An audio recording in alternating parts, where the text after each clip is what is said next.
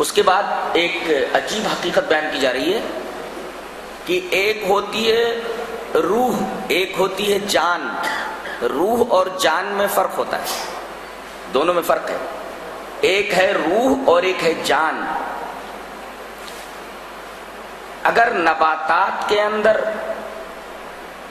हरियाली है तो नबातात में जान है। इसलिए पेड़ बढ़ रहा है। अगर इसके अंदर ज़िंदगी ना होती तो बढ़ता कैसे? इसका मतलब है उसके अंदर जान है तो, तो बढ़ रहा है।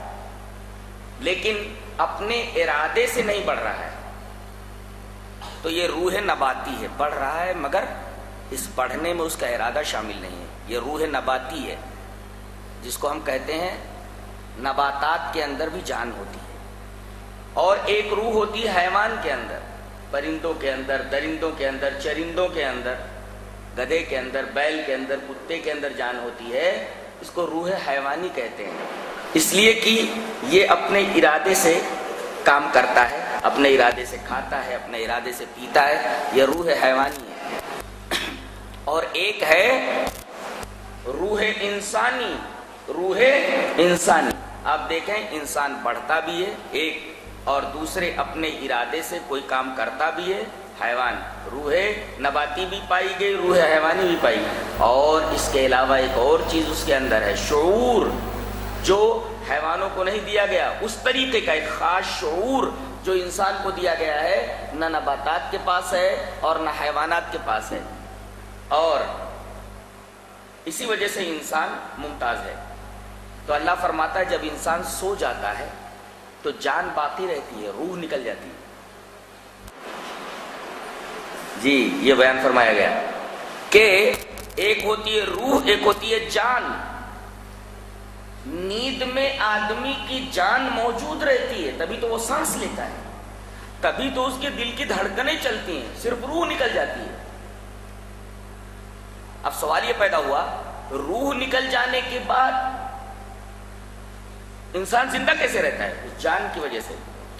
और रूह का राबिता, जैसा कि हज़रत अली रज़ी अल्लाह की तशरी है, कि रूह जब ख्वाब में निकलती है तो उसका ताल्लुक बराबर बदन से रहता है, जैसे सूरज की किरणें ज़मीन पर आती हैं, लेकिन इन किरणों का बराबर ताल्लुक सूरज से रहता है। ऐसे ही रूह जब निकलती है तो उसका ताल्लुक बराबर बदन से रहता है।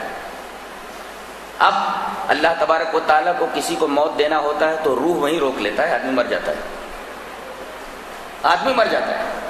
कभी कभी ऐसा होता है कि रूह और जान दोनों एक साथ निकलती है तो तकलीफ़ बहुत ज़्यादा होती है। और कभी जान पहले निकल जाती है, रूह बाद में निकलती है, कभी रूह पहले निकल जाती है, जान बाद में निकलती है। ये तरतीब है। इसको जहन में रखा जाए। रूह और जान जब दोनों एक साथ निकलती है तो ज़्यादा तकलीफ़ होती है। और कभी ऐसा होता है कि रूह पहले निकल जाती है, जान बाद में निकलती है। और कभी ऐसा होता है कि जान पहले निकल जाती है, रूह बाद में निकल जाती है। कहते नहीं है ईईजी कराने के बाद मालूम यह होता है कि इंसान के मरने के बाद कम से कम तीन मिनट तक उसका दिमाग ज़िंदा रहता है। तो ये सारी चीज़ें इस बात की दलील हैं कि एक रूह है,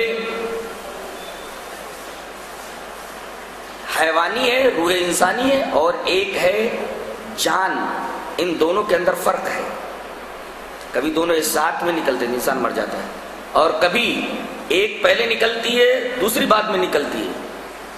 और ख्वाब के अंदर अल्लाह तबारक ताला फरमाता है कि जान मौजूद रहती है, तभी सांस लेता है, ये रूह निकल जाती है। रूह निकलने के बाद भी बदन से राबता रखती है और जैसे ही कोई जगह है फ़ौरन रूह वापस लौटाती है आदमी उठ करके बैठ जाता है।